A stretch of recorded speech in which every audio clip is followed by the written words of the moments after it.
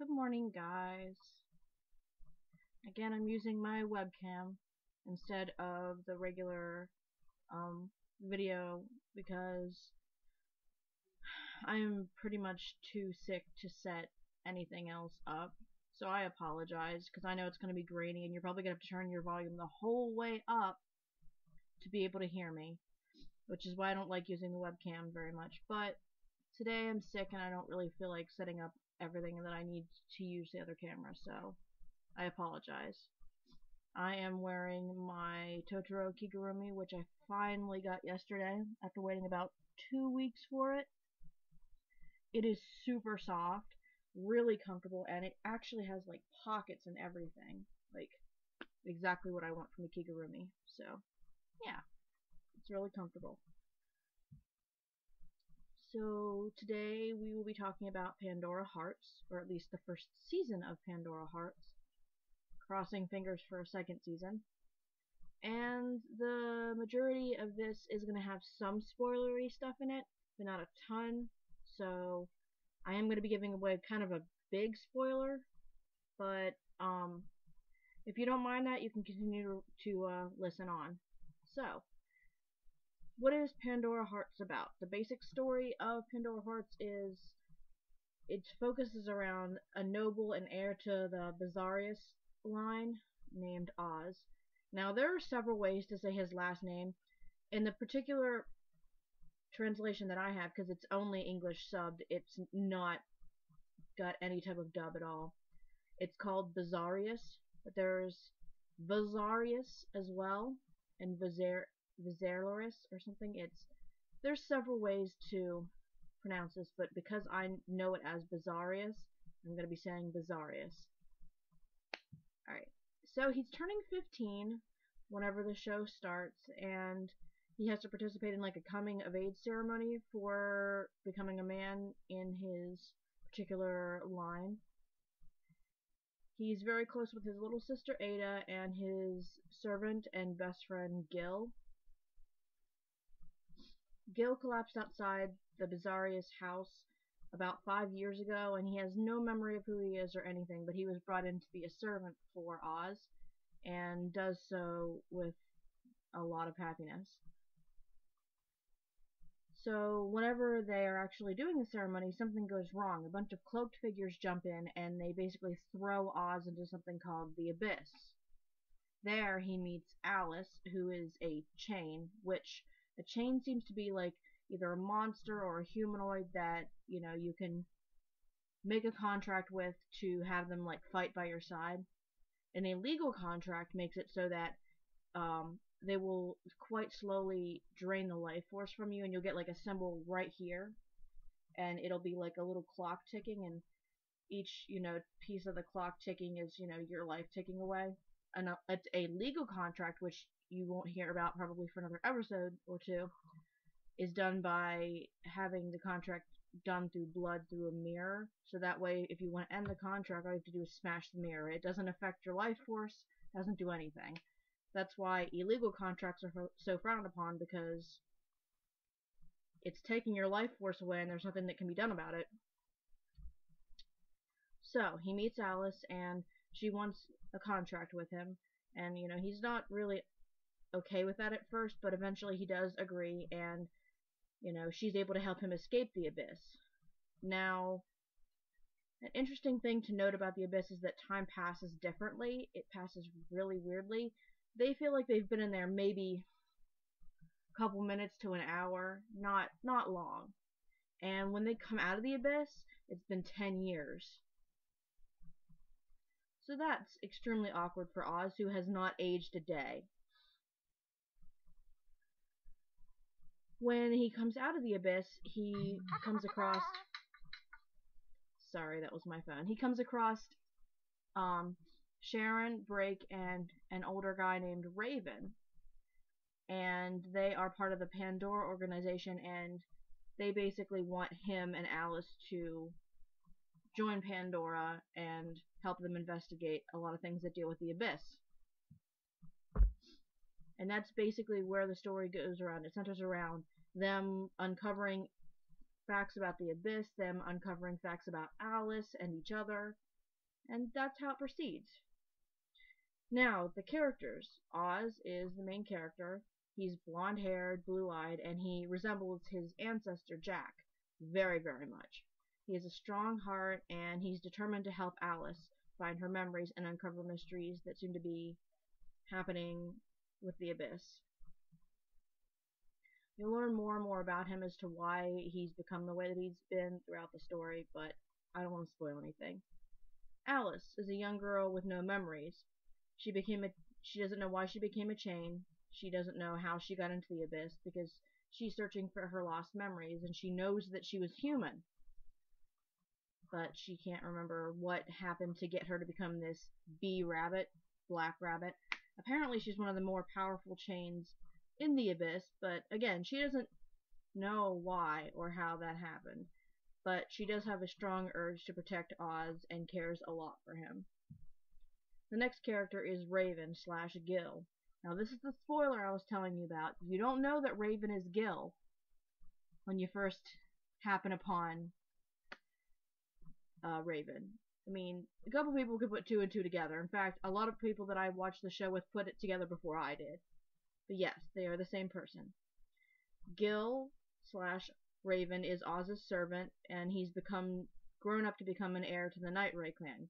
Now, the Nightray clan is basically the complete enemy of the Bizarris clan, like where the Nightrays be considered light, or the Nightrays be considered dark. Bizarrius would be considered light. Like Bizarrius do everything out in the open, where Nightrays are very secretive, and they do a lot of kind of shady stuff. But um, the reason Gil became a part of that household is because he was told if he could get the chain that that family has called Raven, he could get into the abyss to help Oz.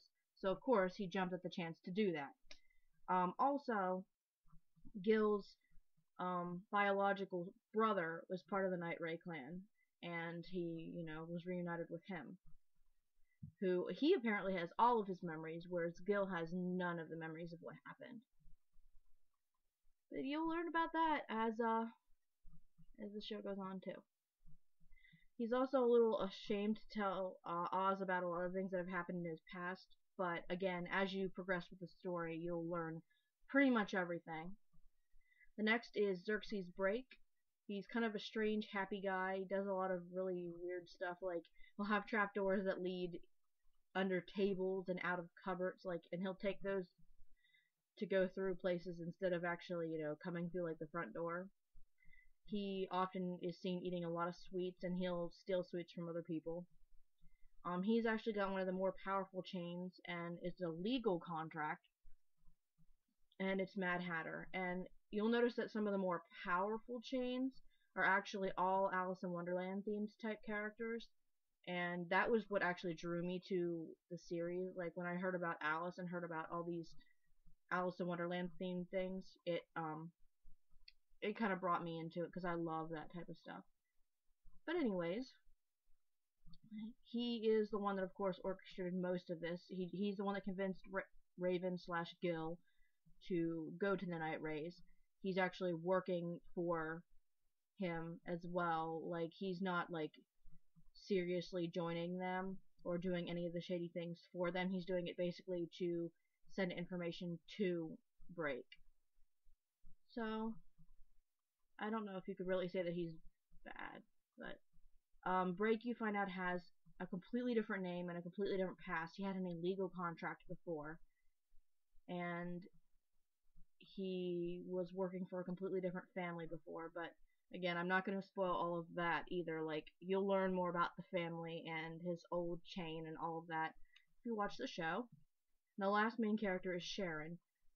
You met Sharon before when he, when she was um, actually coming to Oz's coming of age ceremony, and since then she has not aged. She's 14. Well, she said she was 14 then. She's clearly 24 now, but she has not aged at all. She carries Equus, which is like a black unicorn, and that's her chain. And her household is one of the four main households as well. It is Sorry, I feel like I'm gonna sneeze. Hold on. Oh, was a yawn. sorry, hers is Rainsworth, and um, the four main households each have a door to the abyss, and there's a fifth door to the abyss from where a other household was part of this before the Bizarrius was. The um, Baskervilles were the main clan rather than the Bizarrius, but that's part of an incident that happened a long time ago, and you'll learn more about that again as you watch the show. But yeah, her her family holds one of the doors to the abyss, and she's, you know, the heir to that. So those are the five.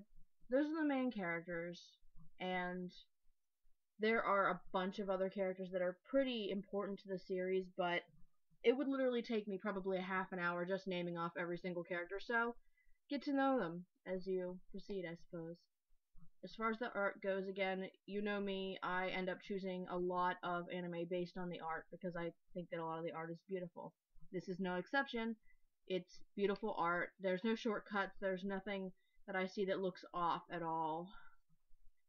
And the costumes and the character they add to like the characters' personalities. Like the the costumes really fit each character and it's very interesting how each of those costumes are so representative of the characters because you see Gil who's dressed all in black and you know it kind of kind of represents his attachment to the Nightrays plus his dark past. And a lot of the rest of them are dressed you know in noble attire because each of them have some kind of noble connection. So it's it's it's interesting. Each each costume represents each character very well now, as far as the character depth and the character, like the story development, for me, the story starts off very slow. Like, I, when I first started the series, I had no idea what it was about or anything. I just liked the art and liked the Alice in Wonderland theme. I was expecting something totally different, and to be honest, the very first episode, while I enjoy it very much now, it was super boring to me. And I asked other people, I was like, how do you how do you feel about it? And they were like, they all admitted to me that they thought that the first episode was really slow. But you learn after you've watched the series that it's a build up to the rest of the series. So while it starts off slow, don't give up because it's definitely a great series. After the first episode, uh, you meet a lot of the characters that you get to have a great mix of action with a lot of fighting with Alice, um, storytelling, and then flashbacks. And the storytelling and the flashbacks will teach you a lot about each character. And the characters have a lot of relatability once you start to get to know about how a lot of them work, then, you know, you'll understand why they do the things the way that they do, the why their personalities are the way that they are. You know, you'll really get to understand them. They they aren't just one-dimensional characters. They seem that way starting off. They seem there seems like there's going to be some off thing about them, but really once you get through all of the episodes and you hear about their backstories and what makes them what they are, you see how much depth there, depth there is to each character. I'm sorry that I'm having such a hard time pronouncing things right now. It's because I'm sick. Like, it's not going to get any better. I actually kind of considered not doing a review this week, but I was like, no, just do it. It's going to be fine. So I apologize that I'm derping up my words. I'm trying to enunciate best I can with my nose doing the thing. So yeah, the point is, the series helps you understand the story, why each character is related to one another, why they do what they do, and just a lot of other things. I, I can't, I don't want to spoil anything, so because if I start going on a tangent, I'm gonna spoil things. I don't want that. That's not the goal of this. The goal of this is to get you interested and to watch it. All right. So my only complaint is that while the story ends kind of like it ends on a reasonably good note, but you can tell that there really should be more to the story, and the manga does continue. I've heard rumors that they just couldn't secure funding for a second season, so they left it there but really it's such a good series. It really does need a second season. It's a lot of people are just going, "Oh, I hope there's a second season. I hope there's a second season" because really like while it ends okay, it doesn't end on a way that is going to, you know, explain anything. Like you, there's a lot explained, but it doesn't it doesn't end on a way that would completely make everything feel final and whole. So that's why I'm actually giving this show a 9 out of 10 rather than a 10 out of 10. It would get a 10 out of 10 if it had been completely finished, but it ends abruptly and there really should be a second season and crossing my fingers for second season. Now, if I get the chance to review the manga, I'll let you guys know how that goes, but for now, we've only watched the subbed version, and as far as I know, there is no dubbed version yet, so. Either way, it to me it's a really great series. It's worth watching. I would watch it again and again. Like there's some anime that I watch once and I'm like I won't watch this again, but Pandora Hearts is one that I would watch over and over and over again. I love the characters, I love the story, I love the action. It's all very very interesting. So, I hope you take the time to give it a watch and let me know what you think of it whenever you get to watch it. Alright, I hope you guys have a great day, and I will talk to you later. Bye.